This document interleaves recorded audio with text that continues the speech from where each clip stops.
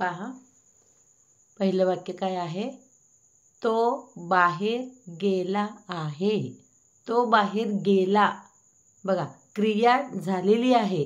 गेला म्हणजे संपलं. गेल्यानंतर जर आहे असेल तर हे वाक्य पूर्ण वर्तमान काळातील आहे. आहे हा शब्द वर्तमान काळातील आहे.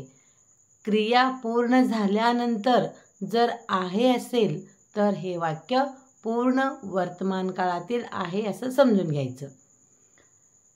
तोला ही आणि तर आहेला हॅज म्हणजे पूर्ण वर्तमान काळामध्ये एकवचनी करता असेल तर आहेसाठी हॅज वापरतात आणि अनेकवचनी करता असेल तर आहेतसाठी ह्या वापरतात.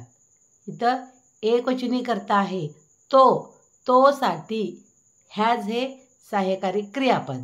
आहेसाठी हॅज आलेला आहे. आणि गेलासाठी गॉन आलेला आहे. कारण पूर्ण वर्तमान काळामध्ये ह्याज नंतर आणि ह्याव नंतर क्रियापदाचे तिसरे रूप येतो.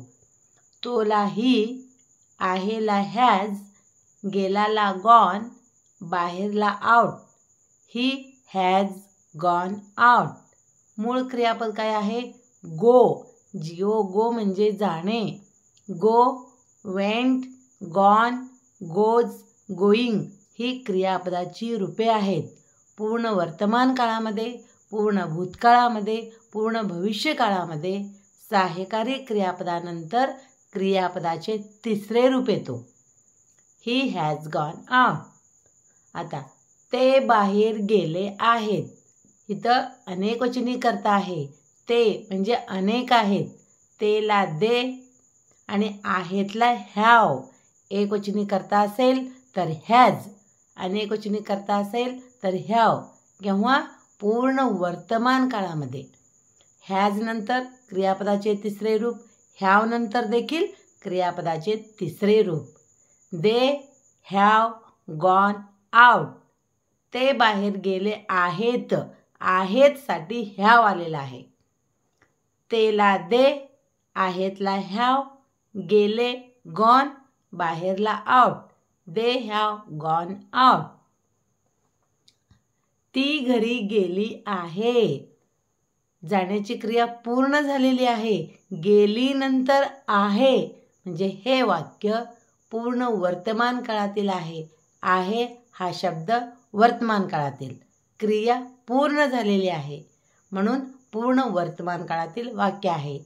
तिला शी ती करता एकवचनी आहे.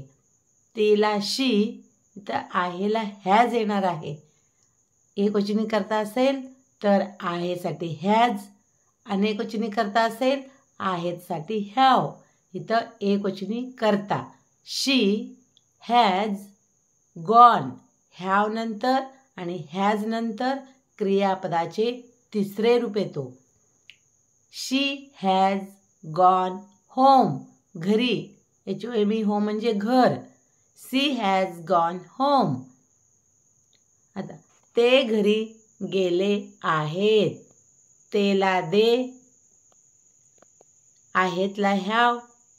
गेलेला गॉन घरीला होम दे. अनेकवचनी करता आहे. म्हणून आहेतसाठी ह्याव. हे केव्हा? पूर्ण वर्तमान काळामध्ये. आणि क्रियापदाचे तिसरे रूप. ह्यावनंतर नंतर ह्याज नंतर क्रियापदाचे तिसरे रूप. तेला दे आहेतला हॅव गेले gone घरीला home. They have gone home. Have आणि ह्याज ही सहाय्यकारी क्रियापदे आहेत. ह्यावनंतर क्रियापदाचे तिसरे रूप. ह्याचनंतर क्रियापदाचे तिसरे रूप. वृत्तवाक्य पहा. मी गेलो होतो. वाक्य वाचल्यानंतर अगोदर सगळ्यात शेवटी शब्द कोणता आहे पहा. होतो हा शब्द भूतकाळातील आहे. म्हणजे हे वाक्य भूतकाळातील आहे. पण साधा भूतकाळ पूर्ण भूतकाळ चालू भूतकाळ हे कशावरून ओळखायचं? पाहायचं मी हा कर्ता आहे आणि गेलो हे क्रियापद आहे. क्रियापदाचे शेवटचे अक्षर लो आहे आणि लो नंतर जर होतो असेल तर हे वाक्य पूर्ण भूतकाळातील आहे समजून घ्यायचं. लो नंतर होतो लो नंतर आहे लो नंतर आहे पूर्ण वर्तमान काळ. लो नंतर होतो पूर्ण भूतकाळ. होतो हा शब्द भूतकाळातील आहे. आता मी या कर्त्यासाठी आय त्यानंतर होतोसाठी हॅड. पूर्ण भूतकाळामध्ये एकवचनी कर्त्यासाठी हॅड अनेकवचनी कर्त्यासाठी हॅड. प्रत्येक कर्त्यासाठी हॅड हे सहाय्यकारी क्रियापद वापरतात. पूर्ण वर्तमान काळामध्ये हॅव आणि हॅज ही सहाय्यकारी क्रियापदे वापरतात. पण पूर्ण भूतकाळामध्ये प्रत्येक कर्त्यासाठी हॅड एकच आहे क्रियापद? आता आय हॅड गॉन हॅड नंतर क्रियापदाचे तिसरे रूप. Go went gone goes going ही क्रियापदाची रूपे आहेत. पूर्ण वर्तमान काळामध्ये पूर्ण भूतकाळामध्ये पूर्ण भविष्यकाळामध्ये सहाय्यकारी क्रियापदानंतर क्रियापदाचे तिसरे रूप येतो. जिओ यांनी गॉन हे क्रियापदाचे तिसरे रूप आहे. आय हॅड गॉन हॅड हे होतोसाठी आलेलं आहे. मीला आय होतोला हॅड गेलोला गॉन आय हॅड गॉन मी आलो होतो.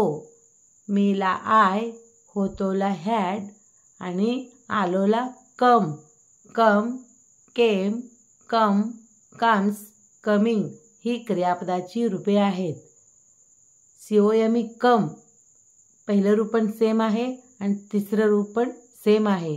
पण पहिलं रूप हे साध्या वर्तमान काळामध्ये वापरतात.